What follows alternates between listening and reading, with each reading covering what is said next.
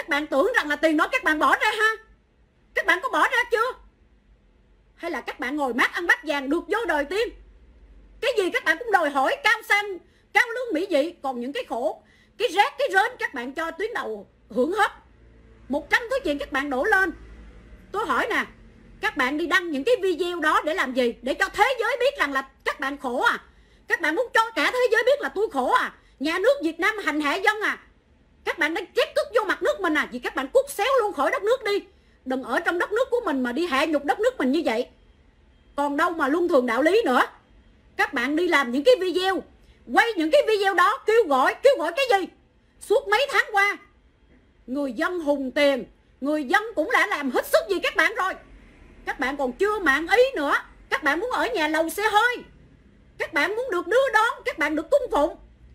Thì các bạn tự mà lo chứ đừng kêu chúng tôi chia sẻ bất cứ một cái thứ gì mà kêu chúng tôi đồng cảm nữa. Nói thật với một câu luôn.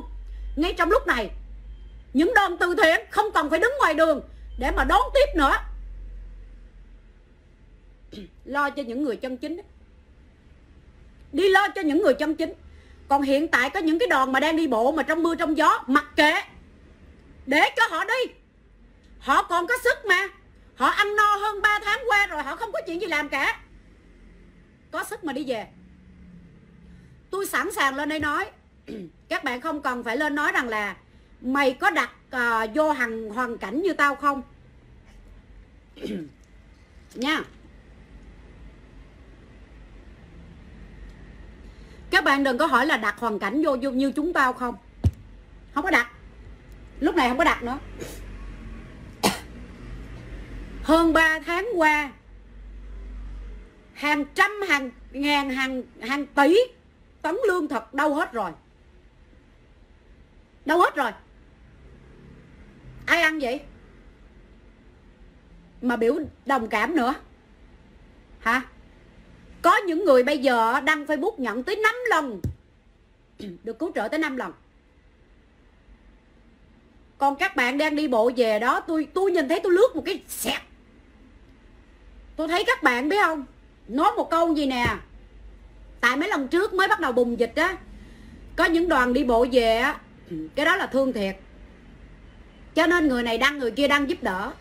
Cái lấy cái đó đó cái bây giờ bắt đầu lụm cái đó đó lụm cái cái cái cái cái um, cái bài đó đó lụm cái cái tuồng đó đó cái diễn lại. Đi bộ để lấy lòng thương người dân giúp đỡ không bây giờ thân ai nấy lo đi. Đừng giúp ai nữa hết thân ai nấy lo đi. Không đồng cảm gì hết. Họ có sức khỏe họ quyết định đi bộ. Để họ đi. Để họ đi. Họ có sức khỏe thì họ đi.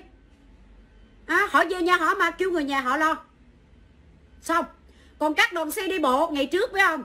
Là đi có tính tập thể do bên công an bên chính quyền hai bên. À do chính quyền hai bên thỏa thuận với nhau đưa về. Thì giữa đường sẽ có hỗ trợ lương thực, nghỉ ngơi. Các đoàn xe, sửa chữa. Nha. Ừ.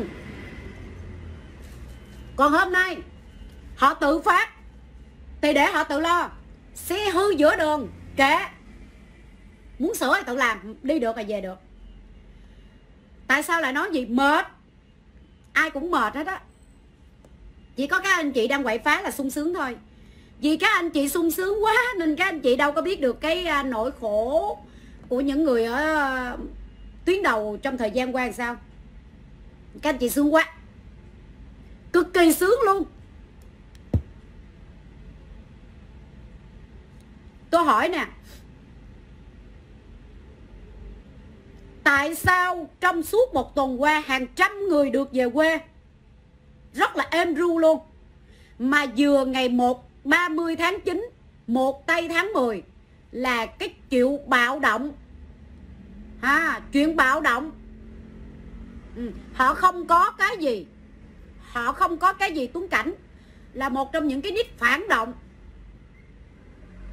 Phản động, chuyên xuyên tạc, là những người đi kích động rửa rửa não dân. Nhưng mà xin lỗi, cái trò hề, trò mèo đó của các bạn á tôi bỏ dưới chân tôi đạp.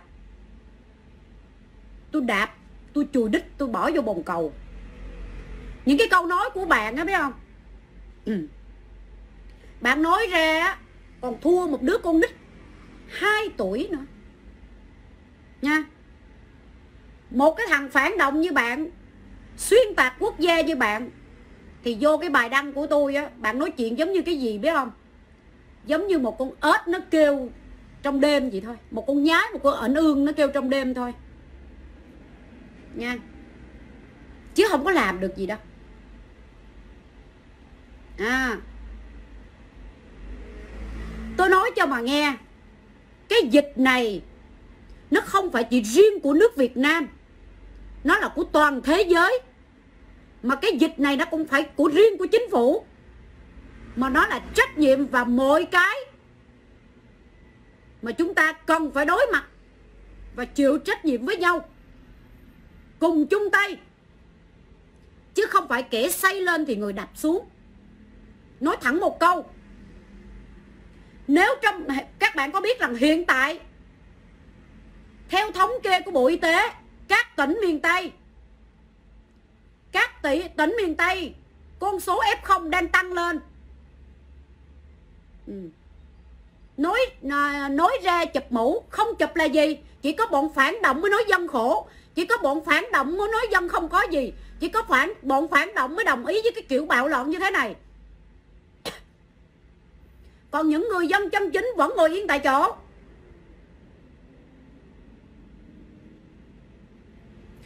Đúng. Có bạn nói rằng là họ nói họ không có tiền ăn không có tiền à, đóng tiền nhà nhưng có tiền nhậu chính xác câu này hay. Hiện tại theo bộ y tế và đài truyền hình thông báo là các f0 ở các tỉnh miền tây đang tăng lên. Thế cho hỏi vui chưa?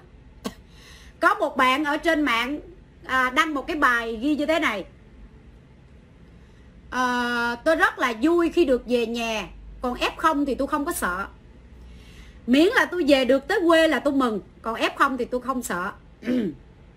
vỗ tay chúc mừng. Chúc mừng bạn. Bạn đã góp phần xây dựng quê hương của bạn. Tạo ra nhiều con f0 mà hiện nay đang tăng lên. Chúc mừng bạn. Chúc mừng quê hương bạn đã sinh ra một thằng như bạn. Quê của bạn đang yên bình. Chỉ vì cái không sợ f0 của bạn mà hiện giờ quê bạn đang đối mặt với một f0 đang tràn lan. nó như thế này.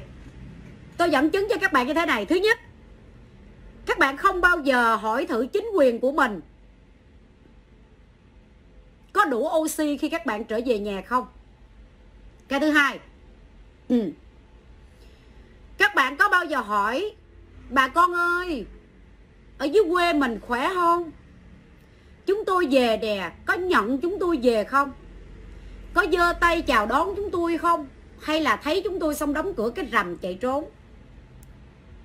À rồi các bạn có bao giờ hỏi, ông tổ trưởng ơi, ông ấp xã ơi, bác sĩ quê mình có đủ không?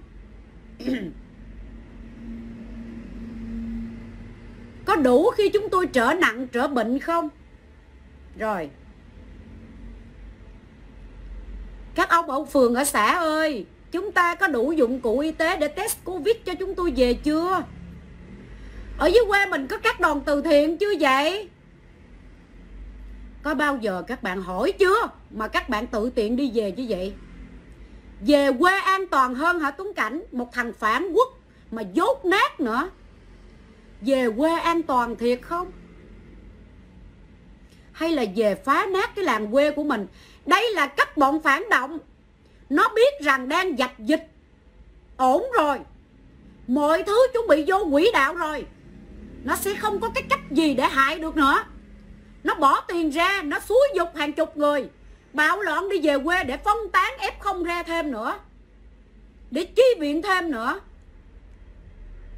Đây là cách bùng dịch lần thứ, thêm một lần nữa mà cái ngu của các bạn mang tới. Mà cái ngu của các bạn mang tới nữa nè coi thử cái tết này các bạn có hoàng mỹ không? Đó, có hoàng mỹ không? Các bạn cứ tự suy nghĩ. Không sớm, không muộn, bạo loạn đi về mà lựa ngay lúc dịch khống chế. Thì lại bỏ đi. Thứ nhất tôi hỏi các bạn nè. Các bạn đi, các bạn có biết rằng là chỉ thị 5k là như thế nào không? Mà tại sao các bạn lại dám kẻ gan tụ tập gần 4.000 con người để đi về. Hả? Các bạn có biết chủng Delta không? Chủng Delta ở Ấn Độ, tần suất lây bệnh của nó như thế nào? Các bạn có biết không? Tần suất lây bệnh của nó là bạn đeo khẩu trang N95 đứng cách xa 100 đến 200 mét vẫn lây bệnh như thường trong khi đó, các bạn đang đeo một cái khẩu trang y tế bình thường. Siêu mỏng cánh, siêu thoáng, siêu mát. Hàng chục, hàng trăm, hàng ngàn có người đứng với nhau tụ tập mà con của mình còn nhỏ nữa. Các bạn là những người ác nhất. Chứ các bạn đừng nói ai ác. Các bạn là những người làm cha, làm mẹ ác nhất khi đưa con của mình với một cái sức đề kháng bé nhỏ như vậy, trà trộn vô một số người để đổ xô về quê. các bạn là những người vừa ác với chính con mình, ác với gia đình, địa phương và cả đất nước của mình. Ác một cách tàn nhẫn, ác tới không mang tính người. Cái ác của các bạn là giết người không bằng dao. Mà chỉ một phút 30 giây của các bạn có thể giết hết mọi thứ, đổ sông, đổ biển. Ai xui, ai khiến các bạn ra đường. Rồi bây giờ các bạn không đi được, các bạn cho con các bạn nằm ở ngoài đường. Nha rồi các bạn quay phim đưa lên kêu ai ai thương? Ai thương? Các bạn biết không? Hơn 3 tháng qua người ta làm dắt hết mồ hôi của người ta làm. Mà các bạn phủi mỏ như vậy thì biểu ai thương nữa? Những cái video của các bạn tôi thấy là tôi lướt tôi chặn hết.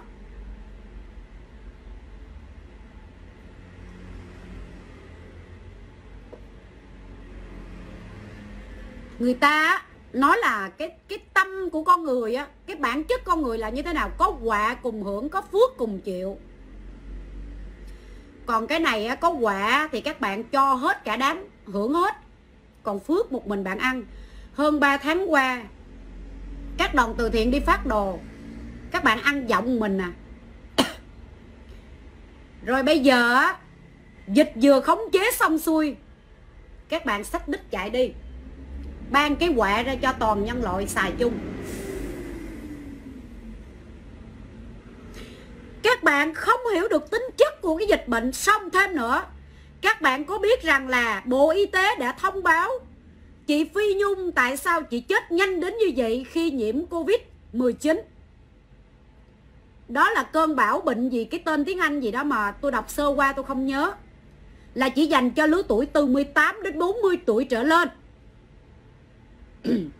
là trong giới trẻ có sức đề kháng mạnh.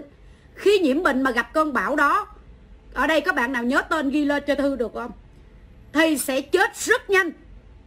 Ngày trước khi nhiễm covid 19 thì những người già sức đề kháng yếu. Thì sẽ đi rất nhanh. Nhưng hôm nay cơn bão đó đến, đối với những người trẻ tuổi. Những người trẻ tuổi từ 18 tuổi cho tới 40 50 trở lại. Thư, sorry hồi nãy tôi nói trở lên trở xuống. Là sẽ chết rất nhanh. Về quê để sống thoải mái. Vì sao từ xưa đến giờ không về quê sống thoải mái đi? Hả? Ở thành phố á sống cực lắm. Thuê cái nhà có 4 mét vuông nhỏ xíu gì nè. Sao đùm túm lên thành phố chi vậy? Không ở dưới quê cắm câu trồng lúa đi. Mà phủi bỏ quê hương. Chạy lên thành phố sống cho bằng chị bằng em hả? Rồi bây giờ thành phố gặp nạn rồi liền thành phố đi. Cho là thành phố ngột ngạt rồi chạy về quê cho sướng. Ủa? Làm người vậy mà cũng làm được hả? Làm người vậy mà cũng làm được sao? Ngày trước thì chê quê là ruộng dân ruộng, dân lúa, dân quê, dân khổ. Làm lúa, cả đời không thoát được. Lên thành phố cho bằng người ta. Mướn cái căn phòng. Nhỏ xíu, chui ra đáy hiểu một chỗ cũng cam tâm. Sống bao nhiêu năm nay không chết, không ngợp sao bây giờ thành phố đau thương một chút? Cái là chê, là ngợp thở, khó chịu. Bây giờ chạy về quê cho thoải mái. Về thì về luôn nghe. Đừng lên nữa nghe. Giác cái mặt lên thì ai ai chấp chứa nữa. Nhớ nha, bà con Sài Gòn. Nhớ nghe. Từ nay mà thấy đứa nào mà với dân quê nó lên là đục nó xuống liền. Ha? Nó nói là trên thành phố ngợp ngạt lắm. Về quê cho sướng, cho thoải mái, về luôn đi. Đừng có giác cái mặt lên nữa nghe. Chê thì đừng có giác lên. Ừ Thành phố ngột ngạt lắm, Khó thở lắm, Về quê sướng hơn. Đừng có dát cái mặt lên thành phố nữa. Cái loại ăn cháo đá bát, Nối đằng gió ăn đằng sống Thì đừng lên nữa, Nha. Mà ở dưới quê cũng nhớ, Cưu mang một lần nữa đi. Mà thấy nó dát cái mặt lên thành phố đó, Thì đừng bao giờ cho nó về Mà ba con ở trên thành phố mà thấy đứa nào mà bò lên nữa Phản bội gì đó, Nó chê ngột ngạt á, Nó mà dát cái mặt lên nữa á. Thì nhớ, Gạch số Cho nó biết mùi. Nha. Chứ đừng có nói. Mọi người nhìn đi. Ác hay không ác cũng cái miệng của tụi nó. Khổ hay không khổ cũng cái miệng của tụi nó. Sướng hay không sướng cũng là cái miệng của tụi nó. Cái gì cũng là từ trong miệng của tụi nó ra hết trơn á. Ha Cái miệng tụi nó ghê lắm. Cái miệng của tụi nó là ông nội, bà nội của thiên hạ mà. À nó nói cái gì là phải nghe hết. Tao đây nói quê khổ thì tao lên phố. Mà lên phố tao nói ngột ngạt thì tao đây về quê. Ha, có phước thì tao ăn, tao giọng tao nuốt một mình, tao kẹp vô hán vô nách tao ăn một mình. Quả thì tao cho tụi bay hết. Sống vậy muôn đời chỉ có khổ thôi khổ. Vĩnh viễn khổ. Cất đầu lên không nổi luôn. Ta nói cái tâm của mình nó làm sao thì muôn đời khổ. Trách ai? Trách ai bây giờ? À, trách ai bây giờ? Còn nữa tự nhiên cái khi khổng khi không à dịch bệnh nó đang nới lỏng ra. Ha. Sài Gòn đã mở cửa sinh hoạt trở lại, cái tự nhiên cái đổ xô chạy về quê. Ủa sao hơn 3 tháng nay bị mắc bố hả?